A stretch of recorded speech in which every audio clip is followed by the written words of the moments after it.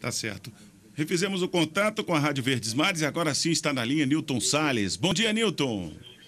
Bom dia, jornalista. Bom dia, secretária Tatiana Lacerda Prazeres. Bom dia. Da Secretaria de Comércio Exterior do Ministério do Desenvolvimento, Indústria e Comércio Exterior. É, doutora Tatiana, a senhora queria explicar mais claramente o que é o Reintegra? Claro, Newton. O Reintegra é um regime que vai permitir que o exportador brasileiro tenha devolução de 3% do valor exportado a título de compensação por tributos que hoje não são passíveis de restituição. Isso é muito importante porque permite que o produto brasileiro chegue mais competitivo no mercado externo.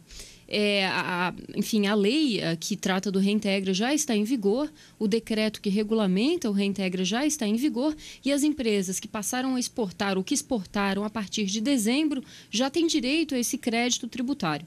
Esse crédito pode ser utilizado pelas empresas exportadoras, seja para compensação com débitos uh, tributários, seja para a própria restituição em dinheiro, em espécie, não é, daquilo que a empresa fez jus em função dessa exportação.